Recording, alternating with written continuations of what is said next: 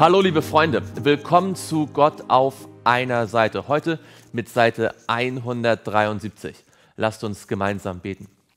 Lieber Vater im Himmel, wir danken dir, dass wir wissen dürfen, dass Jesus unser hoher Priester ist, weil er uns retten möchte.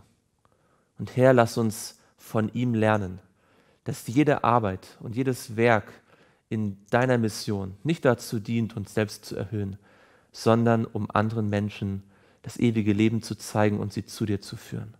Herr, sprich du deswegen auch heute durch dein Wort zu uns und erfülle uns mit deinem Heiligen Geist. Amen. Wir sind in 4. Mose 17 und Mose hat gerade die Häupter der einzelnen Stämme aufgefordert, einen Stab zu bringen. Und auch Aaron soll als Priester einen Stab für den Stamm Levi bringen. In Vers 19 lesen wir, und lege sie in die Stiftshütte für das Zeugnis, wo ich mit euch zusammenkommen pflege. Der Stab des Mannes aber, den ich erwählen werde, der wird dann sprossen. So werde ich das Murren der Kinder Israels, womit sie gegen euch gemurrt haben, vor mir zum Schweigen bringen. Gott möchte, dass das Klagen und Beschwerden und die Beschwerden aufhören. Und er tut etwas, womit alles Murren zu Ende gebracht werden kann. Und Mose redete zu den Kindern Israels, da gaben ihm alle ihre Fürsten zwölf Stäbe, jeder Fürst einen Stab nach ihren Vaterhäusern. Auch Aarons Stab war unter ihren Stäben. Und Mose legte die Stäbe vor den Herrn in das Zelt des Zeugnisses.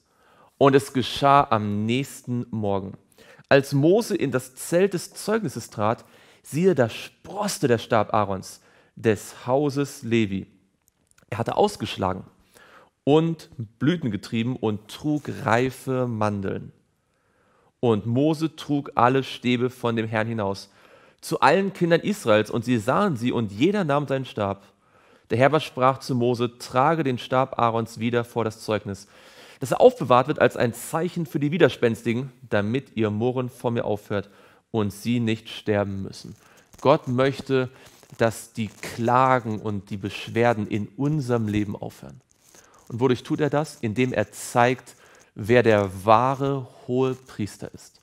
Wer von Gott eingesetzt ist, um hohe Priester für uns alle sein zu können. Und hier in diesem Gleichnis wird deutlich, welches das Kriterium ist. Der Stab, der blüht, zeigt den wahren hohen Priester an. Ein Stab ist totes Holz. Und doch war bei dem Stab Aarons, waren dort Blüten, Mandeln. Aus dem toten Holz war Leben entstanden. Wer ist der wahre hohe Priester, der unser Murren und Klagen beenden kann? Es ist derjenige, der von den Toten auferstanden ist, der den Tod besiegt hat und für immer lebt, um für uns einzutreten. Im Hebräerbrief finden wir genau diese Verse. Jesus ist unser Hohepriester, weil er tot war und den Tod besiegt hat, weil er lebt. Und deswegen ist Jesus dein und mein persönlicher Hohepriester. Und all unsere Klagen und all unser Murren im Alltag findet ein Ende, wenn wir unseren Blick auf Jesus richten, im himmlischen Heiligtum. Und Mose machte es so, wie der Herr es ihm geboten hatte, so machte er es. Und die Kinder Israels sprachen zu Mose, siehe, wir sterben dahin, wir kommen um, wir kommen alle um, jeder, der sich der Wohnung des Herrn naht, der stirbt. Sollen wir denn ganz und gar untergehen?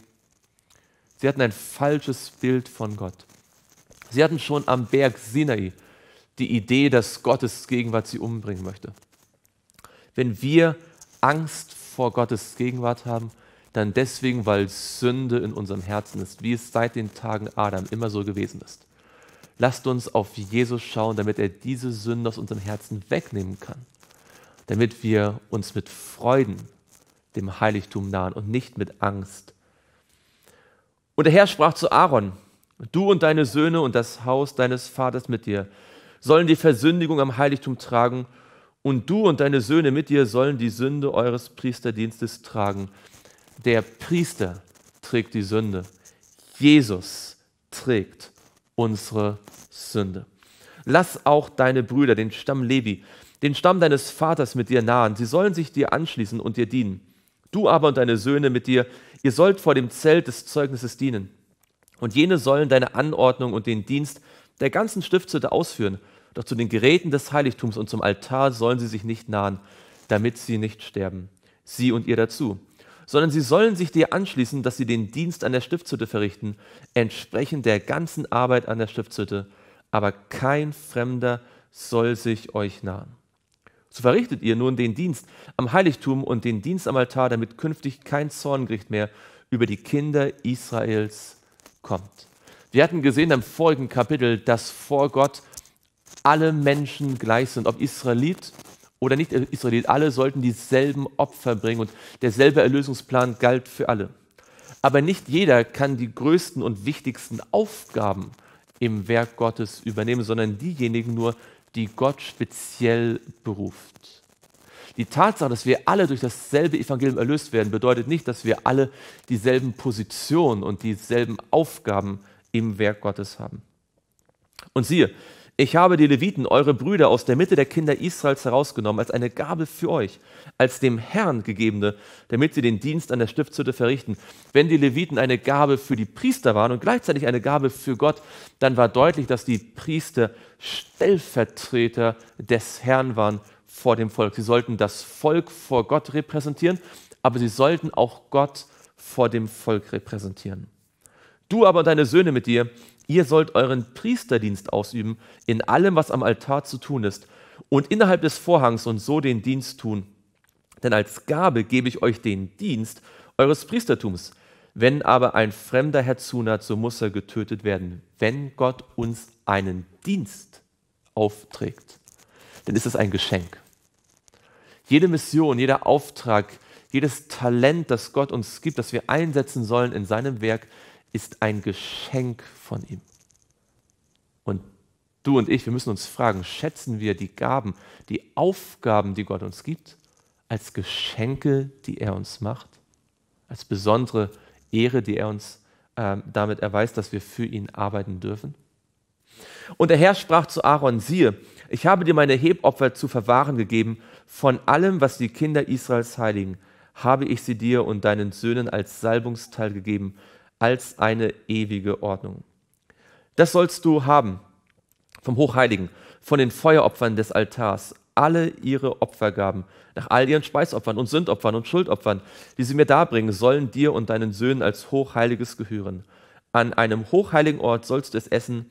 Alles, was männlich ist, darf davon essen, denn es soll dir heilig sein. Und dies soll dir auch gehören, das Hebopfer ihrer Gaben von allen Webopfern der Kinder Israels. Ich habe sie dir und deinen Söhnen und deinen Töchtern mit dir als eine ewige Ordnung gegeben. Jeder, der in deinem Haus rein ist, soll davon essen. Lasst uns gemeinsam beten.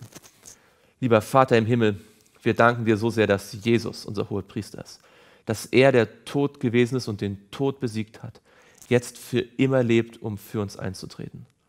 Danke, Herr, für jede Gabe, für jede Aufgabe, die du uns schenkst und dass du uns damit beschenken möchtest. Gib, dass wir sie mit Blick auf dich so ausführen, dass all unser Klagen und all unser Murren in dir sein Ende findet. Das bitten wir im Namen Jesu. Amen.